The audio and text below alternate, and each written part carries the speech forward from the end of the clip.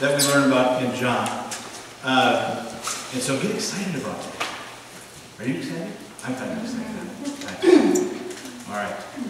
Uh, so, but as we begin the book of John today, we need to realize that it's going to be slow going for a while. Very slow going. Uh, it might take us a while to get through chapter 1. Today, I will be preaching on John chapter 1, verse 1, and we're going to squeeze in verse 2. Just because.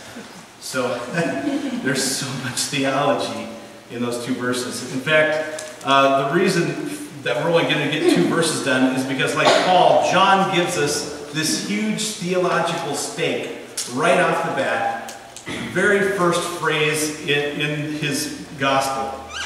And it's so filling and so robust that if we don't take time to digest it properly, we're not going to be able to enjoy the rest of the meal. There's things that he says right away that, uh, that he develops this theology that if we don't grasp it right, if we read the rest of the book, we're going to miss so much. We have to get the right framework as we're, we're entering in to this great book. All right, so let's take a deep breath. Are you ready? Verse 1. Chapter 1. Or chapter 1, verse 1. All right, here it goes. John starts his gospel by saying, In the beginning was the Word. And the Word was with God, and the Word was God. He was in the beginning with God. That's all we're going to get to today. And really, I've toned it down. I had a three-hour sermon planned out, and uh, I, was, you know, I didn't want to be like uh, that guy in the upper room that fell out of the window because we preached too long and he fell out, and I have to resurrect you from the dead and stuff like that. Um, but uh, yeah, so let's move forward. So what is this word? He uses it three times. Do you know whenever something is emphasized more than once in the Bible, it really means that you need to focus on whatever is being said. Okay, and so he uses the word three times. And this word is, well, it's, it's word. The word is word. Okay? Uh, but in the Greek, we can call it logos. And logos is one of the most theologically heavy words that you need to understand. And that's why we're going to take time to make sure that you understand logos or logos so that as we're reading it and we come across it in different ways, we know what's happening and what's going on. All right. So the logos uh, is given four different things here in the beginning of this chapter. And we need to realize uh, that John here is the very best guy to be able to you know, tell us about this. Now, if your glasses are fogging up because the carpet is cleaning, we have an anti-fog cloth up here that it, it works. I've got it on, I'm not fogging. So if you want to borrow it and see, you can do that. Okay? All right. Uh, so, the first thing, the word or the logos was present at creation. So if you want to write that down in your notes, these four things. The logos was present at creation. John starts his gospel with a very familiar phrase. This phrase is intended to bring you back to something else that you already knew and understood. Uh, it's really amazing how our minds work. Uh, I'm going to play a little game with you, and I'm going to say a short phrase, and you're going to tell me where your mind takes you. Are you ready? Okay. All right, we're going to see. I think the kids can get some of these too. All right. Here it goes. We have the meat. Uh, Arby's. Arby's! That was just a weird phrase, right? But you got it. All right. Here's another one. Eat more chicken. Chick-fil-A. Chick-fil-A, all right. I don't know how to do. This one's a little tougher, a little, the quicker picker-upper. Bounty. Bounty, oh, the moms do that one. Never heard that Okay, when that commercial goes on, the kids are just like, ooh. All right. Taste the rainbow. Skittles. Ew. All right? See, you guys are really good at this. Okay? Oh, this one's tough. What can Brown do for you? UPS. Yes. UPS. I honestly didn't know. What? Isn't it crazy how many little tiny phrases are programmed into your mind? Right? All right, here's another one. Uh, this, oh, this one's a scripture one. Okay, you got to give me the scripture. For God so loved the world. John three sixteen. Look at that. You guys almost all know that. It's amazing. All right? Okay, I got one hard one for you. All right, it's scripture. My God, my God, why have you forsaken me?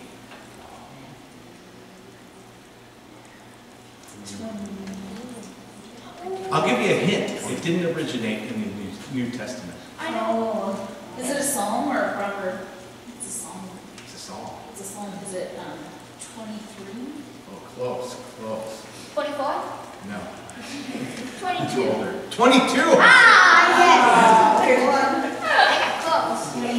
Psalm 22. Jesus is dying on the cross. He says, My God, my God, why have you forsaken me? And it's supposed to bring you to Psalm 22, which describes the crucifixion before crucifixion was ever realized. I realized. knew it was that part, but I forgot. All right. Okay, all right, but we can't go off that rabbit hole too much. We're, we're learning about Logos today. All right, so what is John trying to remind us of by using the phrase, in the beginning? What's he trying to do? What do you think? Remind you about the stars? By, about the stars? The start. Oh, the start. Yeah, the start of what? Life, Start of life? things, planet. Was, didn't I hear a scripture that had something like that already? Genesis. The beginning. Yeah, and the very beginning, right? Very first book of the Bible, first couple words. What does it say? Genesis 1 1. In the beginning. In the. Be- Do you think he knew that? In the beginning. You know, the Old Testament was already kind of around then, right? So he took the very first phrase in, in the Pentateuch, is what they called it back then, and he used it to start his gospel. Do you think he's going somewhere theologically with that? Yes. I think so. That's why you love it. All right. So, in the beginning, God, verse, in the beginning, word, or logos. Whew. The point here is that John is not trying to contrast these two phrases. Rather, he is trying to say that they are the same phrase. John wants to make sure that the term God and Logos, or Logos, becomes intimately linked. Where you can't talk about Logos without God, and you can't talk about God without Logos. It is this term, the Word. Hmm. So, how bold of a statement was it to say that there was something before creation that was sitting around with God in the beginning? Does that sound crazy? Got one down. but really, it's it's really not that crazy. Do you know that in Genesis 1, verse 2, we see that there's somebody else in the creation story before the world was created? Okay? It says this in uh, Scripture says in Genesis 1, verse 2, it says, The earth was formless and void, and darkness was over the surface of the deep, and the Spirit of God was moving over the surface of the waters. So here we have, in the beginning, we have God, and we have the Holy Spirit, and an ice cream truck. All right, stay focused. All right. So now we need to realize here that John is telling us that we should be able to find this word actually within the creation story itself. Remember, he's in the New Testament. He's we know he's going to be talking about Jesus, right? Okay, but he's saying this logos is with God in the beginning. Okay?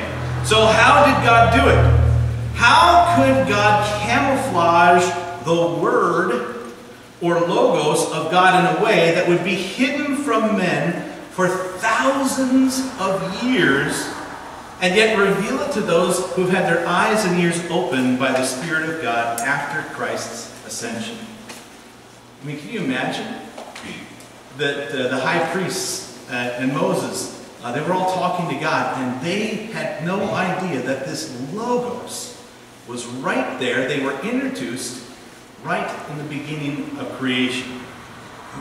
And you see, this is important because in the next couple weeks, when we get further into John, John makes some very serious claims that if we can't believe this right away, we're not going to be able to believe what he says next in verse 3 and 4. Okay? All right, so, but I want you to hold that thought.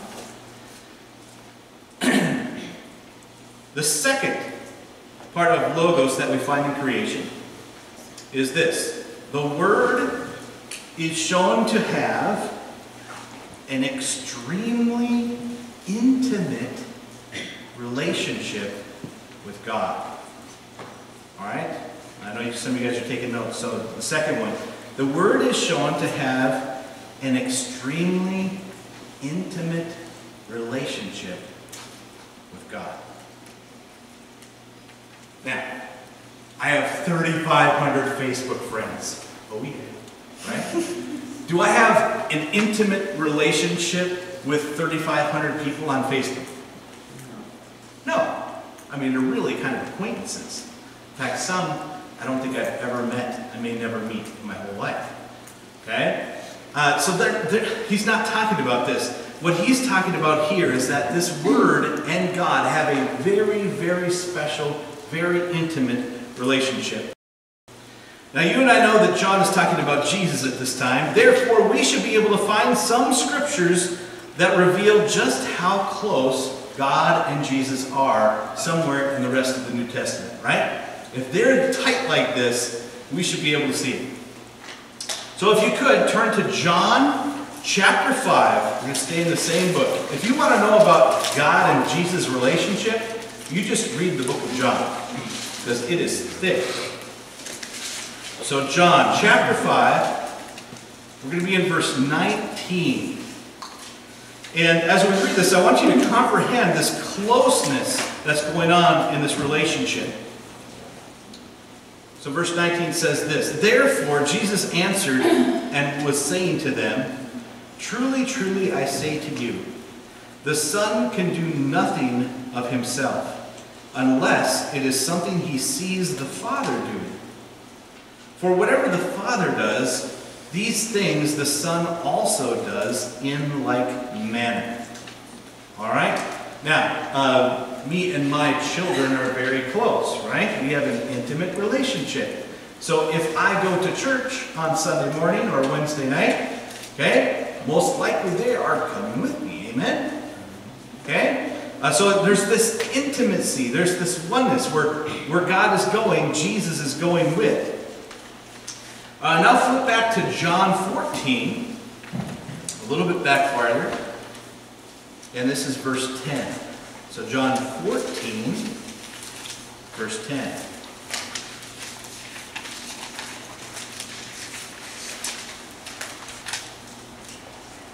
All right, he says this Do you not believe that I am in the Father, and the Father is in me?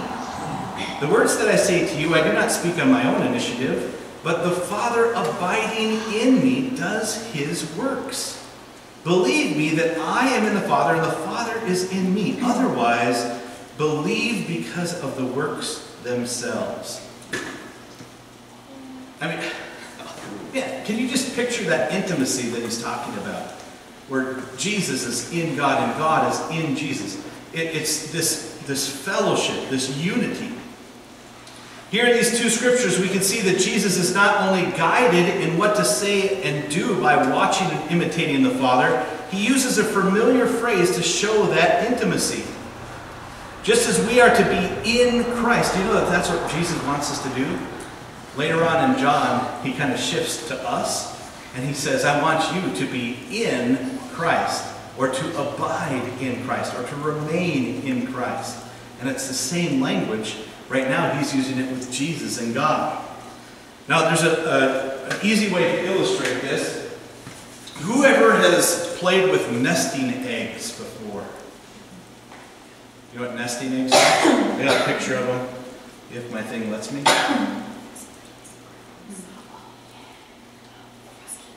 Shazam! No. oh, I almost bit it right there. Come on, PowerPoint, you can do it. There. Okay. Has ever anyone ever seen nesting eggs before? Or nesting dolls? Okay, um, they're very interesting, right? Uh, because um, it comes in like this one little big doll here, uh, and all the little ones fit inside the next one all the way up. So when you're playing with them, you can either have just the one big doll, and everyone's hiding in it, okay, or you can kind of open them all up and pull them all out and, and line them up on your shelf. Now, the intimacy that we're describing here, and this is the cool part, is that God is like this big nesting doll, right? And if you were to open him up, if you were to open up God, in the very center of who he is, in the very center of his will, you would find who? Jesus. Jesus. He's just in there. He's in the center. And so they're, they're one. They're, they're, there's intimacy. Where do you think that we are supposed to be? In Jesus. We're supposed to be in Jesus. And so, and here's the, here's the really cool part. If you are in Jesus, that means you are in God. Does that make sense? Because Jesus is in God. And so we have this opportunity now in the New Testament to share that intimacy that Jesus has with God by being in Christ. All right. So not only uh, is the Logos in, at the beginning of creation, but it is also intimately linked. And now we get to the third part. The third part is the Word is actually God. So it's almost like a crescendo is being built here. John first says, hey guys, this logos was in the beginning, but then he like shrinks in the microscope and he says, oh, let's look at further. It's not only in the beginning, this logos has a very intimate relationship with God. And now he's zooming in even more on this microscope. And now he's saying, oh, by the way, this logos is actually God. All right. Okay. Now I'm not just staring at you all the time. You're just right in the middle. So don't think I'm just like staring you down. You didn't do anything wrong. I'm Yeah, you're not funny looking or anything. Just right in the middle. So. At least somebody different this week. All right. All right. Um, I think the authority of a bold claim like that should be backed up not only by Scripture, but backed up by Jesus' own words. Amen? Uh, if, if I'm going to say, hey, this Logos, this Jesus actually is God, I want it to come from God's mouth himself. All right? Therefore, if you want to turn in your Bible, you can turn to John chapter 10.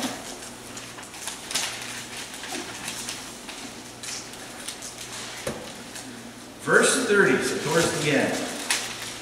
John chapter 10, verse 30. And we can hear what Jesus says about this concept. He's speaking to the Pharisees. The Pharisees aren't very happy with him. And this is what he says. He likes to make the Pharisees a little mad. Uh, he, he tries not to be nice. Like, he doesn't cut corners. He's like, this is the truth. Ha ha. Okay? All right, this is what he says. Speaking to the Pharisees, he says, I and the Father are one. Whew, that is a bold statement. And he go, and this is what happens. The Jews picked up stones again to stone him. Then Jesus answered them, I showed you many good works from the Father. For which one of them are you stoning me? The Jews answered him, For a good work we do not stone you, but for blasphemy, because you, being a man, make yourself out to be God. Okay, so, and, and here's, uh, so we have Jesus' words, and just in case uh, we don't get it, we also get the Pharisees responding and stating the same accusation. Does that make sense? So basically, Jesus said it, and now the Pharisees said, This is what you said. Okay, so we get it twice. So now Jesus gets to come back and clarify, just to make sure you know, that they heard him right. So Jesus answered them, Has it not been written in your law, I said, You are gods?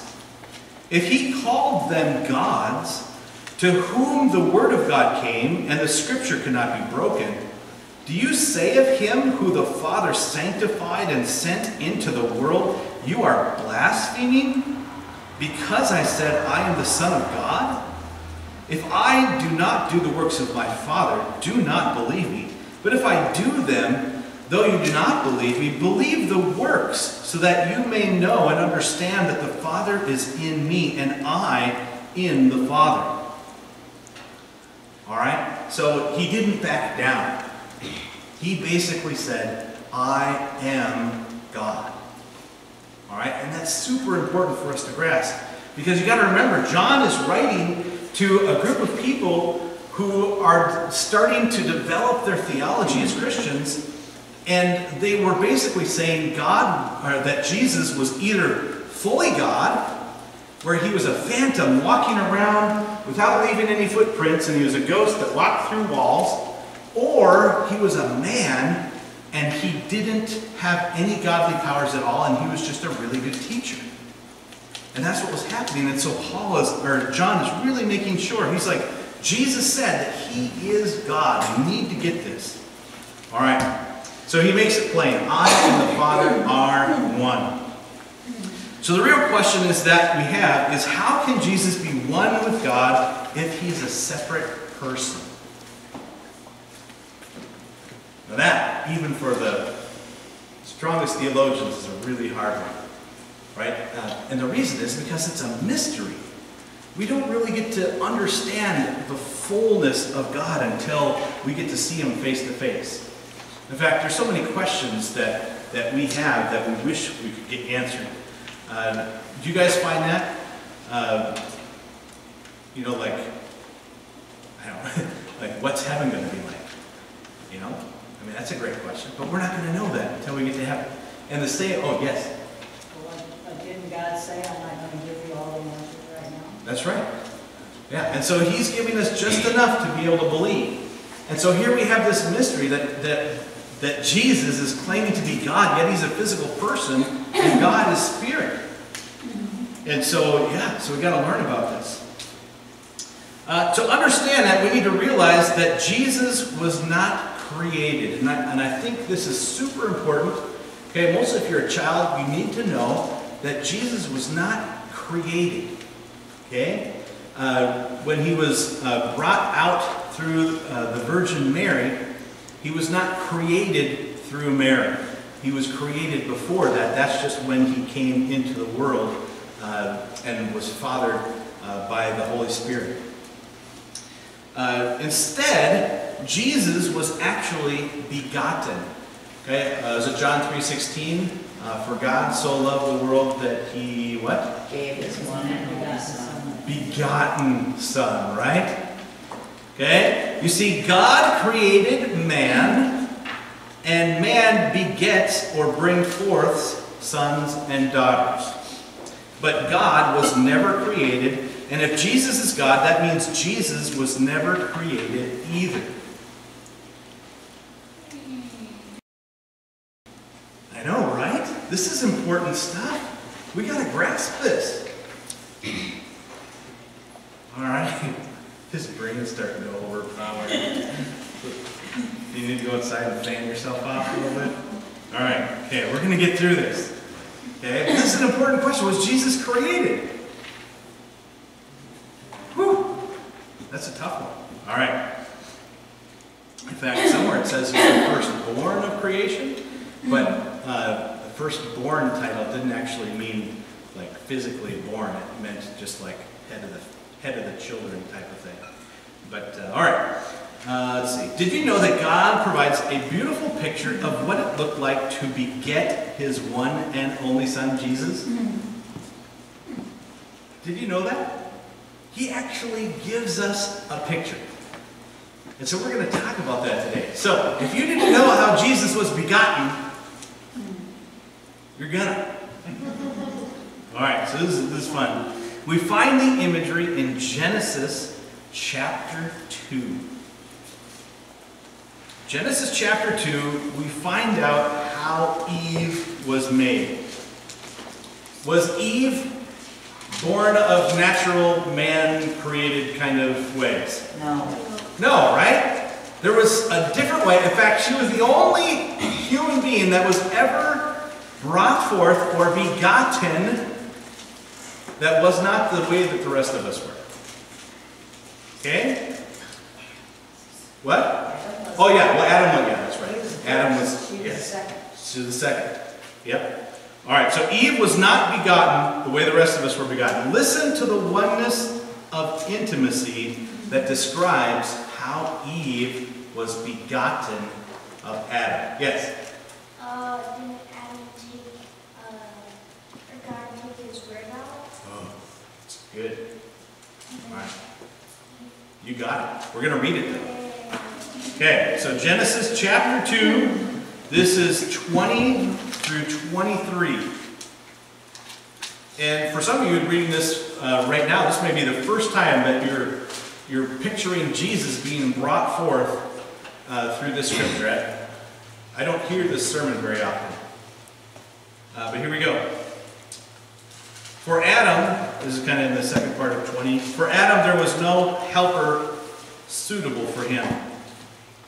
So the Lord God caused a deep sleep to fall upon the man, and he slept. Then he took one of his ribs and closed up the flesh in that place. And the Lord God fashioned into a woman the rib which he had taken from the man, and brought her to the man. And, and check this out. The man says, this is the theology part, at last, this is bone of my bones and flesh of my flesh. Not someone else's flesh. Flesh of my flesh. She shall be called woman because she was taken out of man. Oh, man, that is deep.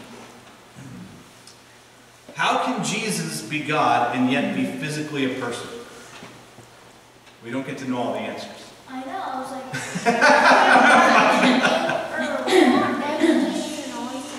But this provides a beautiful picture. You see, we have to wrap our heads around the idea that God is not just a simple spirit hanging out somewhere in outer space. Okay? I, when we're growing up, we kind of feel like that. You know, the thunder rolls and we're like, oh, God's over here. Oh, man, he's mad at somebody. Right? Okay? no, I mean, he's. Do you know that God is in every place at every moment that he wants to be? He's omnipresent. He is everywhere. Yes? I was told when I was little and that happened, that he dropped a bag of potatoes. He dropped, or that he was bowling. Yeah. The angels are bowling. Something. he just dropped some. He just dropped something. Yeah. Yes. See, our parents are smart. They've got it. you know. But God is everywhere all the time. Isn't that cool? So, can you run away from God? You really can't. I've tried to run away from God. I don't know if you've ever tried to run away from God.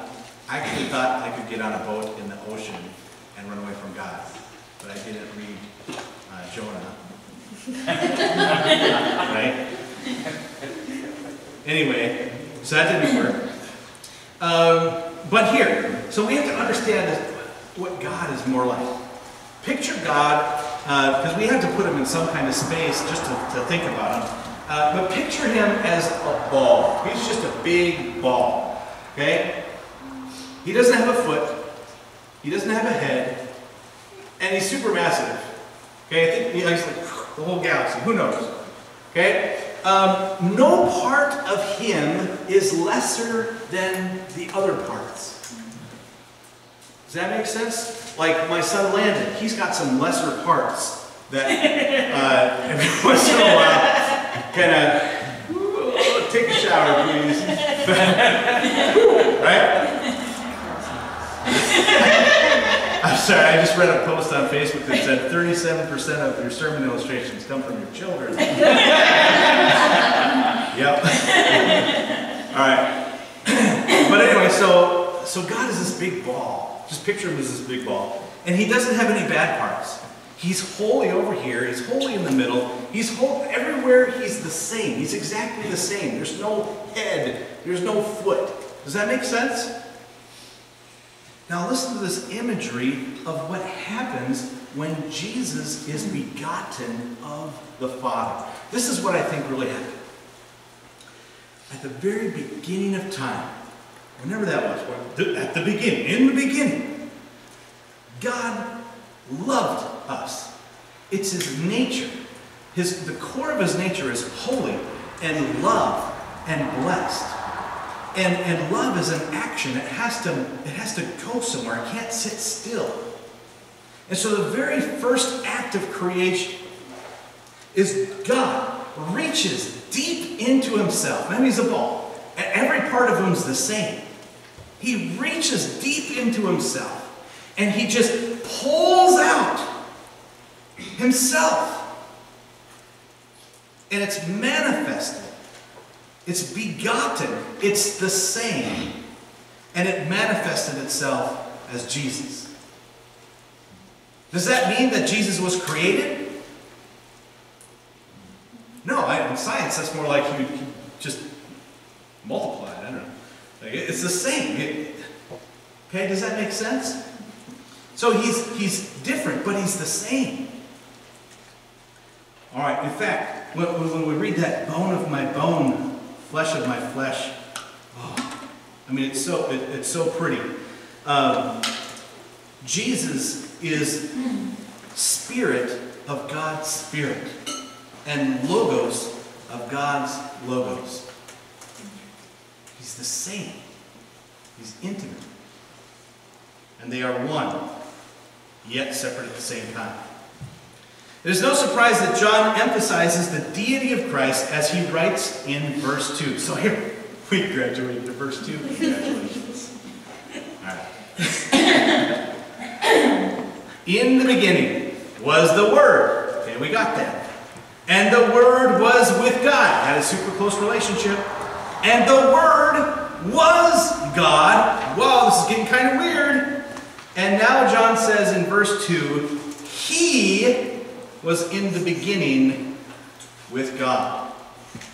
Now, like I said, we've already know the answer. He's talking about Jesus. But here it's written for the readers to start to figure out. John wants his readers to know that this Logos, or Word of God, is actually a physical man. Oh, we're on the last page now, so they're good. All right. All right, so are you ready? This is good stuff. Before, I told you that we were going to get back to finding the Logos in the creation story. I'm telling you, this is good stuff. Are you ready for this? I hope you're taking notes, because you're going to forget like 45% of this. Now, let me ask a question. Does God make mistakes? No. Not really, right? He knows what he's doing, right? He's got a pretty good head on his shoulders. Metaphorically ball speaking, right? Okay? oh man. Whew.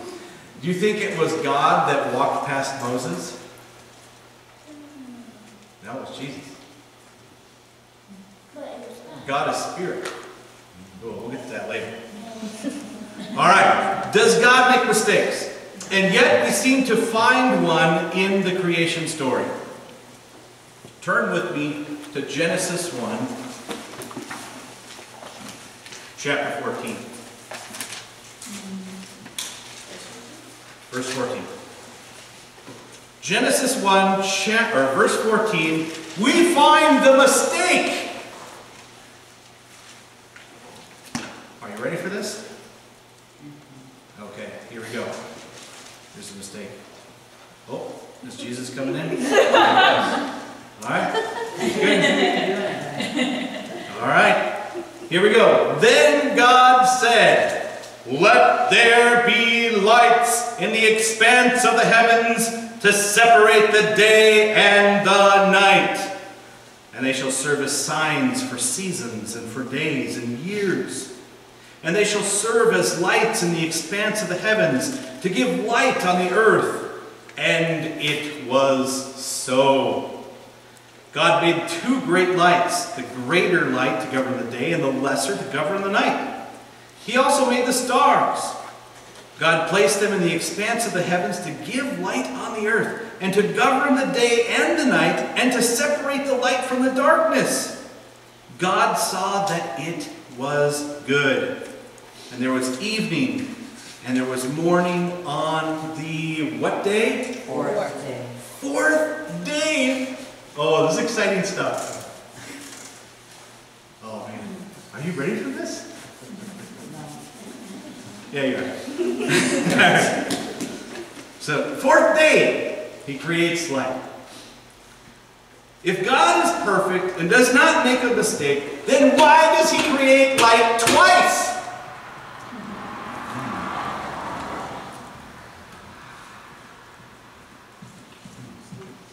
Hmm? You see, on the fourth day, God creates, created the lights. But the crazy thing is, is God already spent an entire day, not part of a day, he spent an entire day creating light already. Why in the world would God spend two different days creating the same thing? Was he not good enough the first time? Didn't like it? Scrunch that up, threw it away. Hey, sunset needs to look different. No. All right.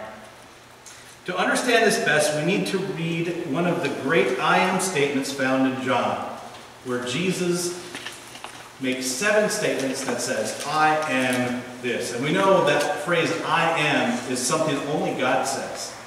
I am the I am. Okay? And now Jesus says, I am. So turn to John chapter 8. Some of you already know where I'm going now. Yep.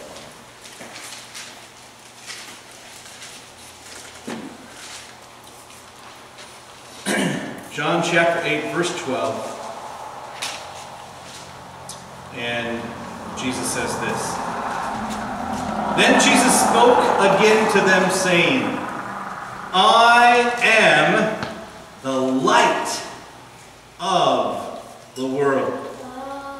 The one who follows me will not walk in darkness, but will have the light of life. Whew. That makes sense. Now, do you think that was a metaphor? Yes. Yeah. All throughout Scripture, light has been given as a characteristic and aspect of God's holiness. It talks about the separation of light and darkness. So here, here's the question How does God, okay, remember, Jesus had to come and die on a cross. If right away in creation, God said, Hey, I am here, there's my Holy Spirit, and there is Jesus Christ who is going to be born in Nazareth on this day. Do you think that the Pharisees would have crucified him on a cross? No, they wouldn't have, right? Like, if God really wanted to be known, he would have been known and everyone would have figured it out. But uh, Jesus actually says that he, he covered the eyes of the people so that they couldn't see, that they couldn't understand. And see, that's the way God did it here in the scriptures right away. So, how does God camouflage a Savior that's always been, yet was not seen until the New Testament? He calls him by his nature instead of by his name. Does that make sense? So, are you ready to find Jesus in the creation story? Oh, this is great. Oh, this is going to knock your socks off here. All right, let's do this. Turn your Bibles to the very first page. Oh. First chapter, first page? Yes, chapter 1, verse 1. Right away. We're not going to wait. Here we go. Wouldn't it be amazing?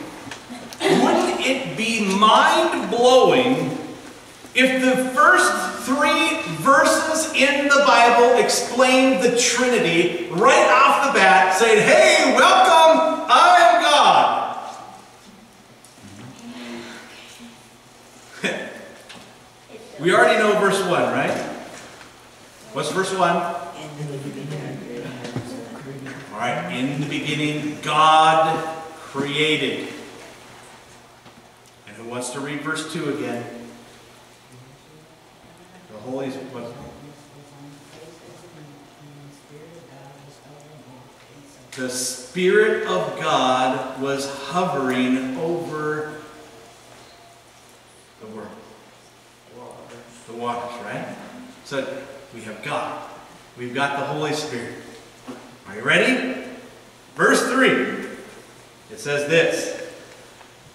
Then God said, Let there be light. And there was light. God didn't make a mistake. He didn't create light twice. He was simply introducing himself to the world in a way that would remain hidden until the chosen time. Jesus, I want you to leave here knowing this today. Jesus is the Logos of God. Amen? John doesn't want to wait around for us to make our own conclusions about Jesus in his gospel. Right away, John reveals this concept of logos or Word of God. John wants us to realize that in the fullness of God's holiness, remember, God's just like this big ball. He's holy all around, He's all the same. Okay, Jesus has been begotten, brought forth from Him. He's not separate, He's just separated a little bit in some mysterious way that we don't get to understand, but it's all wrapped up in this same term, logos. And so whenever you hear the Word of God, you have to be able to understand that it is this full nature of God. Hmm. Next week, we're going to be talking a little bit about how all Scripture is God breathed. That Scripture is the Word of God. It's going to be a good one. All right, the Logos was not only with God in the beginning. This Logos or nature of God's holiness was begotten or brought forth, and it manifested itself as a man that we call Jesus Christ. Let us pray. Dear Heavenly Father, we just come to you today, and Lord, I know that there are people here that have never heard this message. And Lord, we haven't heard these messages is because we don't have men of faith that are willing to listen to the Holy Spirit and to be open to be able to go into your word and realize that it's a living word. And so, Lord, whatever we preach here today or in the future, Help it not come from me as a pastor. Help it to come from you because you are the God that teaches us all things. And so, Lord, if we are mistaken in some way, help to sharpen each other. Help us not to bicker or complain. But Lord, you have given us a great truth today, and it matches your word. It doesn't go against your word. And it says in the last times before the end that you are going to, to reveal yourself in a more intimate way with your church. And so, Lord, we look around us and we see what's happening in the world. And Lord, the church is going to be going through a, a time of harsh persecution. But wouldn't it be sweet? Wouldn't there be just a little more hope? If what, what has been just, just checking off a box on Sunday morning can become a time of, of, of being fed by you, the living bread, the bread of life. Where we come and we don't come and get the same, uh, same thing over and over again, but you come and you give us a message of your intimacy and your, the depths of your fullness. And so, Lord, we just pray that you would continue to be with us. Lord, I feel you here today. And we thank you for that. We thank you that, that even though the carpets are, are wet and, and our glasses are fogging up and we're hot and sweaty, that you are still able to come here and teach us about yourself. And so we thank you for that. In Jesus' name, amen.